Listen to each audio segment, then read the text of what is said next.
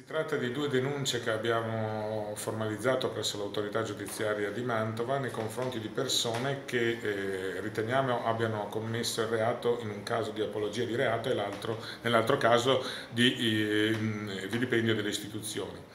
Quello che voglio dire è che eh, assolutamente viviamo in un paese democratico e per fortuna che la legislazione eh, vigente consente a tutti di esprimere la propria opinione. Qui però si tratta di ben altro, si tratta dell'utilizzo improprio dei social networks per formulare dei, delle, delle, valutazioni che appunto rientrano in fattispecie di reato, come auspicare un attentato terroristico oppure eh, altre cose del genere. Insomma. Quindi bisogna stare molto attenti perché l'utilizzo di di questi strumenti di comunicazione molto importante se utilizzato appunto secondo quanto previsto dalla legge e per gli scopi consentiti.